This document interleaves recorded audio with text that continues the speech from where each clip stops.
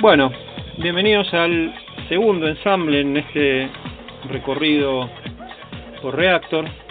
Este segundo ensamble nos va a presentar un secuenciador. Un secuenciador es algo así como un grabador de melodías en loop, muy común en la música electrónica.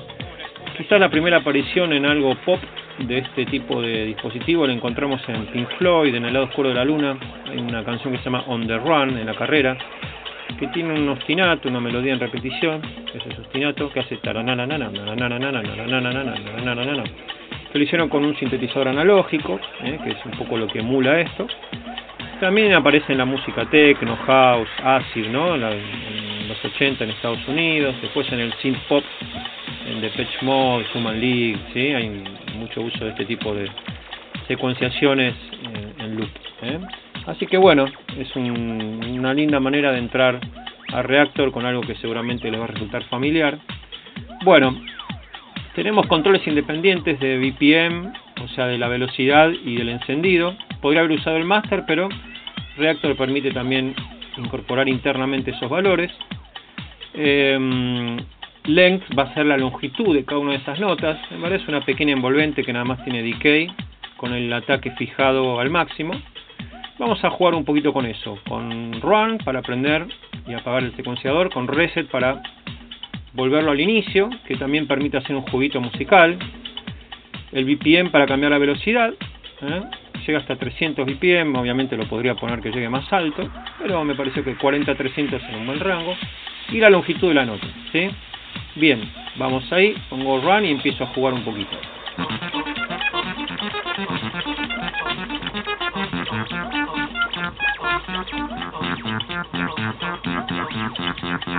¿Eh?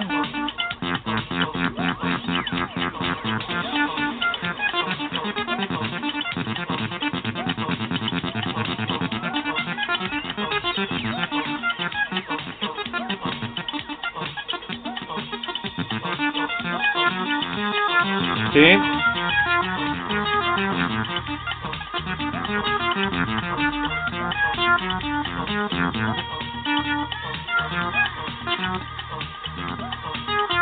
¿Sí? Hay muchas maneras para generar variación musical con esto, ¿sí?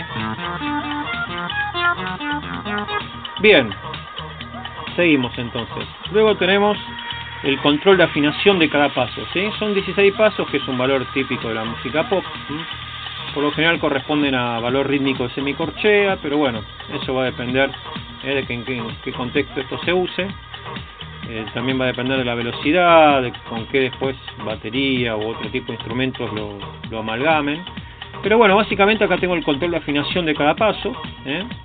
donde cada nota está representada con un, con un valor numérico. En el sistema MIDI tenemos 128 notas, ¿eh? desde lo más grave a lo más agudo, y bueno, acá obviamente lo van programando, van probando. Vamos a jugar un poquito en tiempo real con esto. La realidad es también que con este instrumento se improvisa mucho, uno va probando melodías, las guarda, ¿sí? Acá hay algunos presets ¿eh? que pueden, podemos ver primero.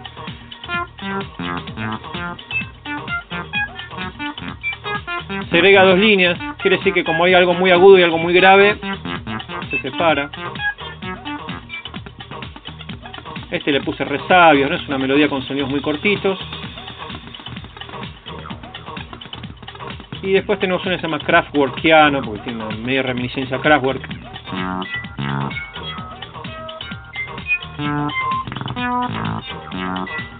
Bueno, obviamente tengo un control del sintetizador acá abajo, que después vamos a ver con un filtro, ¿no? no es muy complejo, pero puedo ajustar algunos parámetros del sonido resultante. Tengo un paneador y el volumen master, ¿sí? No hay más. Vamos a jugar un poquito con la afinación de los pasos, decíamos, ¿no? Que puede ser muy grave, muy agudo. Lo puedo ir moviendo en tiempo real. Mientras esto suena, yo voy a ir cambiando ahora.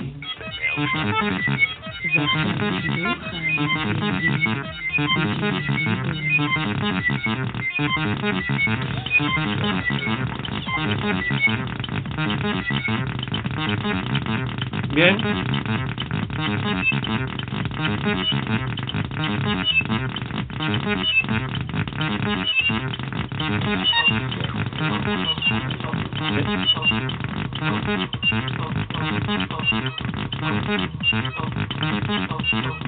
¿Sí? Ven cómo va cambiando. Y abajo tengo el nivel de volumen de cada paso.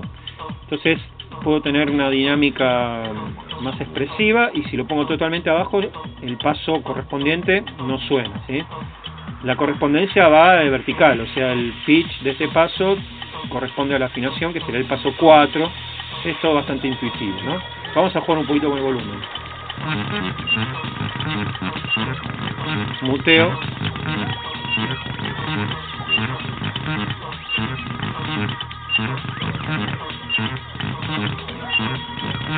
¿Sí? ¿Ve cómo va cambiando?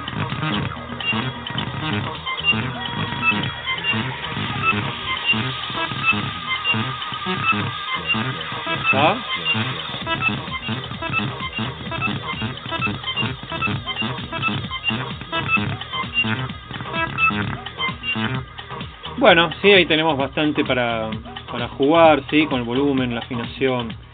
Los controles sintetizador son bastante simples, tenemos onda cuadrada y onda mm, diente de sierra, en verdad dice pulso, en verdad el, pulso y cuadrada para nuestros fines es lo mismo, en verdad la cuadrada es un tipo de, onda pulso, ¿eh? donde tenemos eh, simétrico los flancos positivo y negativo, pero bueno, el sonido es onda cuadrada, en verdad. Vamos a escuchar el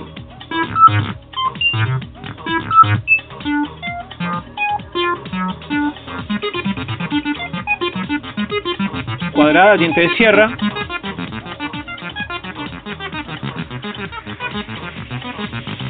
Bueno, lo que tengo acá es un control de transposición total de la secuencia. ¿sí? Muevo en bloque la afinación de toda la secuencia para arriba o para abajo en la afinación. Tengo un filtro con la resonancia, un filtro clásico. La envolvente del filtro, acá tengo cuánto la, la envolvente del filtro va a actuar, cero o máximo y una mini envolvente de decay, ¿sí? porque para este tipo de sonidos con un decay en general es suficiente, el ataque queda en máximo y esto va a sonar muy a reminiscencia también de música electrónica antigua y tiene algunos agregados para que vean cómo el reactor puede trabajar de manera modular. Acá tengo un autopaneador que lo que va a hacer es que el sonido vaya de, de izquierda a derecha y la velocidad con que hace ese trabajo. Y finalmente un control de volumen. ¿sí? Y ahí termina. Juego un poquito con estos parámetros y creo que con eso ya estaría listo para que lo empiecen a probar.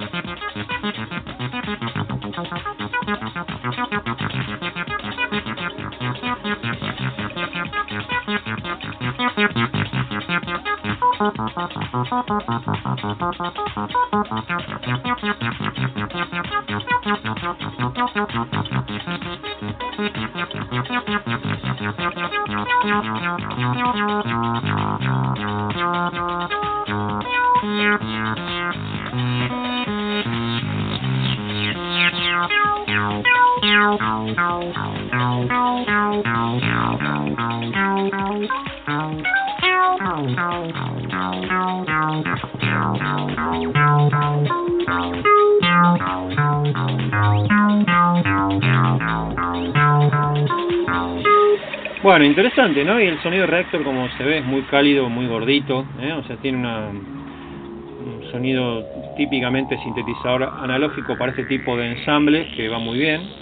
Así que bueno, eh, que lo disfruten y ya hora de que lo empiecen a probar ustedes. Hasta